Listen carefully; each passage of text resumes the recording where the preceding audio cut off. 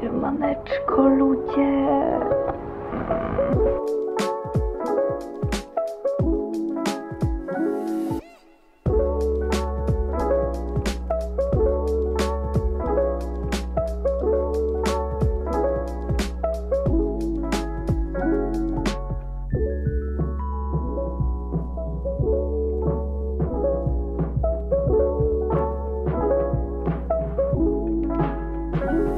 Hejka moi drodzy, witam wszystkich bardzo serdecznie, teraz już tak bardziej oficjalnie niż to co było przed chwilą. I słuchajcie, dzisiaj do Was przychodzę z bardzo fajnym odcinkiem. Powiem Wam, że jeszcze nigdy czegoś takiego nie nagrywałam, a miałam dużo pytań a propos tego. E, Otóż będzie to filmik, jak edytuję, jak obrabiam swoje zdjęcia to jest dość e, ciekawy temat z racji, że ja już prowadzę Instagrama bardzo długo.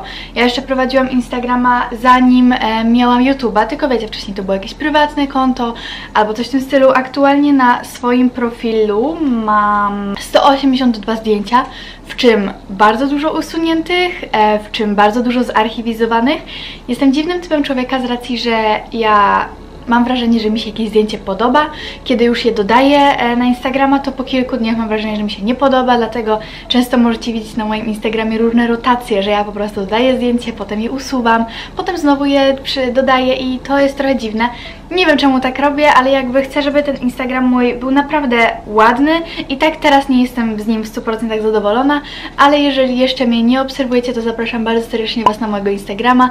Macie gdzieś go tutaj teraz e, na, na ekranie ekranie no i co, zapraszam, bo ja się tam dość często udzielam, często daję relacje, e, posty staram się dawać tak co 2-3 dni. E, no i co, i bardzo często się mnie pytacie, w jakim programie edytuję zdjęcia. Jak już podaję Wam jakiś program, to pytacie się, jakich filtrów użyłam i tak dalej, i tak dalej. Więc stwierdziłam, że nagram o tym osobny filmik, jak trochę Wam opowiem o tym, pokażę Wam jak ja to robię i po prostu wszystko będziecie mieli obok wyświetlone, jak ja robię daną rzecz. Jeżeli coś takiego Wam się spodoba, pamiętajcie oczywiście, żeby zostawić łapkę w górę, a już bez zbędnego przedłużania rozpoczynam ten odcinek. A więc to ja się przesuwam trochę w bok i teraz tutaj z boku zaraz powinien Wam się wyświetlić ekran mojego telefonu, także co, ja włączam nagrywanie, no i co, proszę bardzo, wyświetlił Wam się ekran e, i jak widzicie mój Instagram prezentuje się tak, jakby ci, którzy jeszcze mnie nie obserwowali, bądź jacyś nowe osoby, tak się prezentuje mój Instagram. Ja mam osobny folder e, z nazwą foto, mam tych tutaj e, aplikacji naprawdę dużo, ale nie służą wszystkie do obróbki zdjęć, służą też do obróbki filmów, jakichś dodawy, dodawanych jakichś specjalnych efektów, e, bądź też robienia miniaturek na mój kanał. E, no i co, także E, może na szybko pokażę Wam wszystkie aplikacje. Nie wszystkie będę omawiać, ale pokażę Wam jakie tutaj mam. A więc pierwszą aplikacją jest Facetune. Ona fajnie e, nam podkreśla jakieś kolory, można coś sobie bardziej jakby wiecie e, wyostrzyć, coś bardziej zblurować. Także to jest naprawdę fajna aplikacja. E, ja bardzo często w niej robię miniaturki, kiedy na przykład jestem ostra ja, a tył jest rozmazany. E, Pixart, Pixart to jest aplikacja, w której stuprocentowo robię wszystkie swoje miniaturki. Lomotiv, e, bardzo fajna aplikacja, w której aplikacja, aplikacja, aplikacja. Tutaj cały czas będę powtarzać aplikacja, ale program, no powiedzmy. A więc Lomotiv jest to program, który służy nam do dodawania dźwięku do filmiku. E, Vasco jest to aplikacja, w której ja każde swoje zdjęcie na Instagramie obrabiam w Vasco. Oni tam mają genialne filtry, bardzo fajnie można bawić się jasnością, e, jakąś, wiecie, jakimś natężeniem światła albo coś tym stylu, także Vasco to jest na pewno aplikacja, którą omówię w tym filmiku. E, FaceApp, FaceApp to jest taka dość zabawna aplikacja, e, z racji, że możecie na przykład zmienić swoją twarz w faceta, e, bądź na przykład porównać twarze, na przykład pomieszać swoją twarz na przykład z jakąś popularną osobą, także to też jest taka bardziej, taka bardziej do zabawy aplikacja. E, Kira Kira mm, to jest taki bardziej dodatek, e, który służy nam do tego, że możemy dodać jakby takie kryształki, coś w tym stylu. E, boomerang, czyli po prostu takie jakby odwrócone filmiki. Teraz również Instagram już to wprowadził na stałe, nie trzeba mieć osobnej aplikacji. Instadown jest to aplikacja, która, dzięki której możecie pobrać sobie jakiś filmik z czyjegoś konta, czyli InShoot, InShot, Aplikacja, w sumie nie pamiętam co ona robi. Chyba można jakoś sobie, a można tworzyć sobie kolaże. E, różnego rodzaju kolaże można robić sobie do, e, do zdjęć, także to też bardzo fajne. E, Flipagram, robicie jakby filmiki ze zdjęć, bardzo fajne, na przykład na urodziny, jakbyście chcieli komuś zrobić. E, Photo Retouch, również aplikacja, do której, o której dzisiaj wspomnę troszkę więcej. Służy nam do usuwania ludzi, ale o tym wspomnę trochę później. E, Face Blur, dzięki której możecie na przykład zablurować twarz. Ja to używam najczęściej do miniaturek, jak na przykład robię jakiś make-up, który nie chcę, żebyście do końca wiedzieli, żeby nie było spoiler na miniaturce i nakładam po prostu takiego blura na twarz. E, Mojo to Mojo, Mojo, mm, aplikacja do robienia jakichś takich fajnych filmików, przejść. Mm, Coś w tym stylu, nie wiem. E, może część osób, która obserwuje Verso, Weronikę e, na Instagramie, ona jakiś czas temu robiła o modzie takie różne na Instastory e, rzeczy, które fajnie wyglądały, no to właśnie wydaje mi się, że ona w tym to tworzyła. E, Pixaloop nie pamiętam do czego to służy. Aha, to są jakby takie efekty, że możecie na przykład, jak często widzicie na przykład na TikToku, takie, że na przykład dziewczyna tańczy, a wokół niej robią się jakieś takie paski, jakieś takie bąbelki, albo coś w tym stylu, nie wiem czy dobrze to określam, albo na przykład cała nagle się robi taka kolorowa, kred, zakredkowana, no to w tej aplikacji też można robić. Ja się tym jeszcze tak dobrze nie bawiłam, także nie wiem. Hashtag, aplikacja z hashtagami, to też wydaje mi się, że wspomnę nieco później. E, Avatan, e, aplikacja, w której, do której również dzisiaj nawiążę, bo jest bardzo fajna i można zrobić fajne, zwykłe zdjęcie w domu i w awatanie je fajnie przerobić. E, player, nie wiem co to jest player. Nie mam pojęcia co to jest, serio nie mam pojęcia co to jest, nie wiem co to u mnie robi, ale okej. Okay. Highlight Cover to jest aplikacja, w której ja robiłam swoje te takie jakby kółeczka, jak widzicie, które mam tutaj na Instastory, te takie relacje, to ja robiłam właśnie w Hide Like Cover.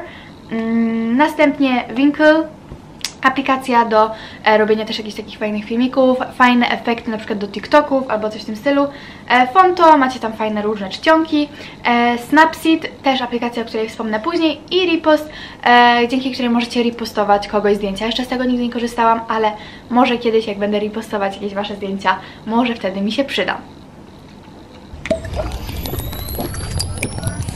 A więc to były pokrótce opisane przeze mnie te aplikacje. Mniej więcej mogliście skojarzyć, która do czego służy, z jakich ja korzystam. E, I słuchajcie, zaraz Wam pokażę jeszcze mm, takie moje ulubione aplikacje i jak ja tak właściwie obrabiam te moje zdjęcia. Ok, a więc ja już sobie przygotowałam takie jakby totalnie surowe zdjęcia, e, które po prostu nie były wcześniej w żadnej innej obróbce, one są po prostu zrobione i gotowe do obrobienia takiego, e, wiecie, końcowego. I słuchajcie, włączam nagrywanie ekranu i pierwszą aplikacją, e, którą będę korzystać, będzie to aplikacja Vasco.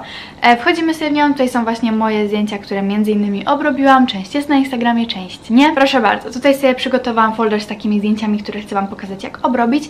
I przykładowo zdjęcie, które ostatnio było na moim Instagramie, e, czyli to zdjęcie. I tak, proszę bardzo, obrabiamy sobie je.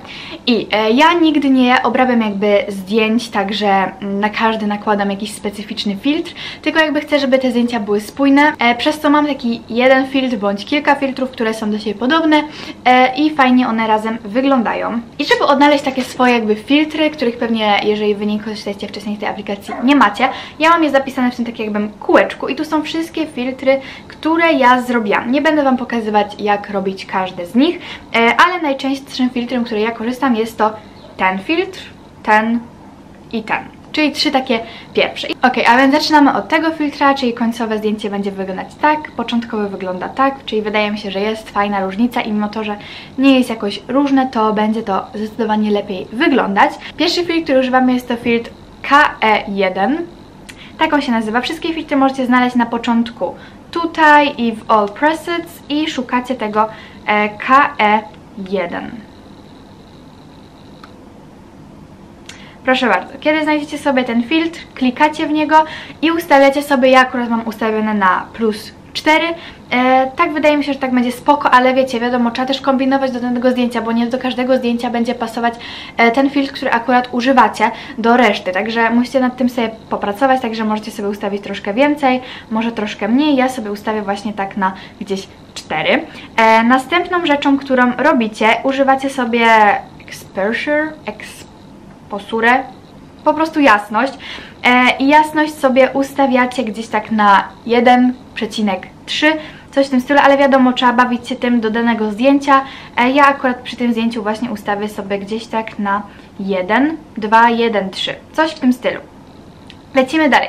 Następnie mamy tutaj kontrast. I ja kontrast mam akurat ustawiony na malutki, ponieważ to nie jest nawet plus jeden, także e, możecie sobie ustawić tak jak chcecie, ale tak jak mówiłam, do każdego zdjęcia trzeba jakby specyficzne ustawienia. No ja sobie ustawię na plus jeden, będzie to myślę wyglądać całkiem spoczko. E, kolejną to, e, jakby opcją jest adjust, czyli po prostu możecie sobie jakoś fajnie uciąć to zdjęcie, możecie na przykład zrobić z niego kwadrat, jeżeli chcecie zdjęcie wrzucić prosto na Instagram, e, ale ja akurat zostawię w takich wymiarach jaki jest, bo w takich mi się podoba. Dalej mamy ostrość. Ostrości ja rzadko kiedy jakoś przesuwam, to raczej jeżeli macie na przykład zdjęcie gorszej jakości i chcecie je troszeczkę wyostrzyć, z tym też nie można przesadzać, bo później to zdjęcie wygląda po prostu mało realistycznie, e, ale ja ostrości rzadko używam, też przez, to, przez tą ostrość włosy wyglądają trochę bardziej na tłuste i takie wiecie, nie do końca fajne, także ja nie przesadzałabym z tą ostrością. E, clarity, no to też możecie sobie tutaj troszkę e, jakby zwiększyć, ale też nie za bardzo, bo potem wasza skóra robi się taka dość dziwna. Ja tego też raczej nie stosuję. E, saturation, Jezu, przepraszam, ja nie potrafię wymawiać tych nazw. Ja w ogóle jestem słaba, jeśli chodzi o jakąś taką, wiecie, takie wymawianie albo coś w tym stylu akcentu, nie mam jakiegoś dobrego. E, no ale macie tutaj, ja też z tym rzadko jakoś kombinuję, bo jak widzicie tutaj jest troszkę za mocno, tutaj jest tak już za, za bardzo e, szaro-buro, więc ja najczęściej mam po prostu na zero. E, tutaj tone i highlightsy zawsze daję gdzieś tak do połowy. E, z tym na maksa też bym nie przesadzała, bo to też jest takie trochę, e, skóra się potem robi brzydka, więc tak gdzieś na piątkę wydaje mi się, że będzie dobrze. Z shadows to zależy, jeżeli macie bardzo ciemne zdjęcie, to fajnie jest sobie tym trochę popracować. Mm, white balance to tutaj macie temperaturę oraz tint. E, jeśli chodzi o temperaturę, to możecie sobie wiadomo dać na cieplejszą, na, chodło, na chłodniejszą, to zależy od zdjęcia. E, ja teraz sobie akurat do tego zdjęcia nie dodawałam nic i żeby zdjęcie było bardziej różowe, tint możecie dać sobie właśnie po tej prawej stronie i wtedy to zdjęcie będzie takie bardziej różowawe. I w sumie do tego zdjęcia mi się to podoba, więc mogę tak zostawić. E, dalej mamy skin tone jeżeli chcecie, żeby zdjęcie Wasze było jeszcze bardziej różowe, to przesuńcie sobie po prostu trochę na lewo, wtedy jest różowe, a jeżeli chcecie na e, bardziej takie żółte lub takie bardziej neutralne kolory, to właśnie bardziej na e, prawo. Ja sobie dam gdzieś tak na minus 8, coś w tym stylu, oj. E, dalej mamy winet, e, ja z tego nie korzystam jakoś często, bo to zdjęcie potem się robi takie filmowe, można tak powiedzieć. Można sobie troszeczkę tego dać, ale też nie za bardzo, jakoś tak coś w tym stylu, może zostać. Mm, dalej mamy grain i to są jakby takie granulki, nie wiem coś w tym stylu, ale mi się to bardzo kojarzy z takimi vintage zdjęciami. Tego też nie dawajcie nigdy na fulla, bo to wygląda już za bardzo. E, ja ogólnie bardzo rzadko tego dodaję do zdjęć, bo to nie jest mój styl takiego, takiego Instagrama, ale do tego zdjęcia, żeby Wam przykładowo pokazać, mogę dać akurat na trójkę. Czemu nie? E, dalej mamy fade, z fade'ów w ogóle nie korzystam, bo mi się to nie podoba, jakby taki, taka mgła. Mm, nie wiem, jak kto woli, ja tego nigdy nie dodaję, także, także no. E, split tone to jeżeli chcecie, żeby zdjęcie już naprawdę było jakiegoś takiego koloru mocnego, na przykład możecie sobie dać żółty, zielony, jakieś, taki, jakieś takie różne kolory. Nie wiem, ja też z tego jakoś za często nie korzystam, bo nie potrzebuję aż tak mocno koloryzować swoich zdjęć. Ale czasem też można uzyskać jakiś taki retro efekt. O, na przykład tutaj macie taki fioletowy. Jeszcze jakbyście dali sobie to takie jakby, wiecie, blink, to by to zdjęcie wyglądało naprawdę fajnie, ale ja nie będę już przesadzać. E, borders, no to wiecie, ramki. Nie korzystam z tego w ogóle. E, HSL, nawet nie wiem co to jest. Serio, nie mam pojęcia, nie potrafię się tym bawić, ale tak, jak widzicie, tak się prezentuje to zdjęcie. Wydaje mi się, że naprawdę ma taki jakby urok to zdjęcie, także fajnie to wygląda. E, no i co? I tak by się prezentowało przerobione zdjęcie. Teraz sobie zapiszemy ten efekt. Ja go później usunę, bo mam bardzo podobny, więc nie ma potrzeby dodawania dwóch jakby takich samych ale e, usuniemy sobie teraz te wszystkie opcje i na przykład e, pokażę Wam na przykładzie innego zdjęcia. Załóżmy tego, to też niedawno było na moim Instagramie, jest w ogóle teraz nieprzerobione e, i słuchajcie, teraz wybieram sobie ten filtr, który nałożyłam do poprzedniego i prezentuje to się tak. Wydaje mi się, że też bardzo uroczo, bardzo ładnie, tak różowawo. Wiadomo, jest to jezioro, więc jest tak trochę szaroburo, ale ogólnie efekt jest ładny. No i spróbujemy może z jeszcze jakimś zdjęciem, załóżmy może tym nie wiem, czy do tego zdjęcia akurat będzie to dobrze wyglądać. Możliwe, że tak. Troszkę ciemno, ale też jest taki fajny vintage styl.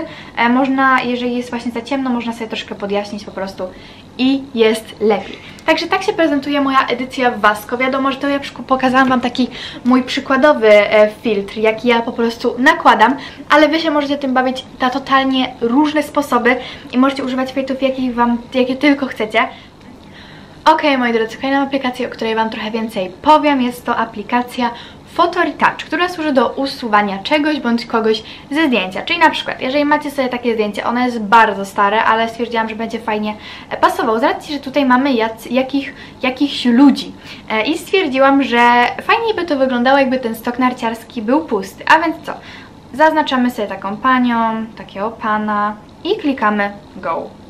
I jak widać, wszystko nam z łatwością się usunęło. I tak można usunąć praktycznie wszystko z wszystkich zdjęć. Wiadomo, że to też nie za każdym razem zadziała, bo musi mieć jakby tło. O, widzicie, teraz na przykład nasz stok narciarski trochę się uciął. No, nie wygląda to jakoś super realistycznie, można spróbować jeszcze raz. Ale tak jak mówię, e, nie zawsze może to nam wyjść, z racji, że czasem nie będzie miało jakiegoś fajnego, czystego tła, z którego może to pobrać. E, dlatego nie zawsze to zadziała i z daleka nie wygląda to jakoś źle, E, także aplikacja, w której również fajnie się można pobawić. I ostatnią aplikacją, o której chcę Wam powiedzieć, a raczej tylko o jednej funkcji tak naprawdę, z racji, że ta aplikacja ma naprawdę wiele różnych, bardzo fajnych opcji. Jeżeli ktoś ma czas i chęci, żeby się w niej pobawić, to bardzo serdecznie Was do tego e, zapraszam, ale aplikacja, o której ja Wam teraz powiem, jest to aplikacja e, Snapseed, o której wcześniej już wspomniałam, teraz troszkę bardziej e, rozbuduję i mamy, proszę bardzo, tutaj e, tą aplikację. Dodajemy sobie jakieś zdjęcie, ja jeszcze nie wiem jakie dodam. Nie wiem, czy to będzie dobrze wyglądać na tym zdjęciu, spróbujemy, zobaczymy, ale słuchajcie, teraz e, mamy tutaj w narzędziach coś takiego jak rozszerz i klikamy tą aplikację. To się bardzo może dobrze przydać, jeżeli macie jakieś takie zdjęcie i na przykład chcielibyście to zdjęcie przerobić w taki sposób, żeby na przykład macie załóżmy takie zdjęcie, a chcecie, żeby to zdjęcie było kwadratem, bo chcecie dodać je na Instagrama, e, to ta aplikacja może się fajnie sprawdzić. Tak jak mówię, nie zawsze działa, ale spróbujemy. Proszę bardzo, poszerzamy to zdjęcie i jak widać w tym zdjęciu akurat naprawdę fajnie sobie ta aplikacja radzi. Zobaczymy jak sobie poradzi, o budzik, jak sobie radzi z moimi nogami. No, tak też myślałam, że z nogami może być troszkę trudniej. Ale na przykład w taki sposób zdjęcia możemy sobie fajnie poszerzyć. Mamy tutaj troszkę więcej tła, proszę bardzo, na przykład większe chmury, no tutaj też można sobie w sumie tak poszerzyć. Sprawa tutaj jest troszkę taki rozjazd, ale naprawdę wygląda to dobrze. E, jeżeli ktoś ma fajne na przykład zdjęcia, już może, może na pewno by fajnie wyglądało w tym zdjęciu. E, także można sobie je fajnie tak jakby poszerzyć, dodać sobie trochę tła, tak żeby nie wyglądało to też jakoś bardzo sztucznie i wydaje mi się, że jest to na pewno fajny, e, fajna opcja, którą możecie wykorzystać przy jakichś zdjęciach. No i co? Także to by były takie jakieś podstawowe funkcje, które chciałam Wam pokazać w tym odcinku. Ja mam wciąż e, kilka jakichś takich bardzo fajnych opcji, o które Wy często się mnie pytacie, albo na przykład chcecie wiedzieć jak coś zrobiłam. E, jeżeli będziecie chcieli kolejny taki odcinek, gdzie pokażę Wam jak już tak bardziej graficznie edytować, czyli na przykład dodać sobie jakieś ładne niebo, e, to dajcie mi znać, a ja z pewnością coś takiego dla Was nagram. No i co, a ja za ten filmik Wam już bardzo serdecznie dziękuję. Jeżeli chcecie więcej takich, to pamiętajcie oczywiście, żeby zostawić subskrypcję tam na dole. E, wtedy dołączycie do e, mojej rodzinki i będziemy mogli się powiększać, poszerzać, a za niedługo 100k, także błagam, wbijcie te 100k. Ja już się z Wami żegnam, do następnego filmiku i cześć!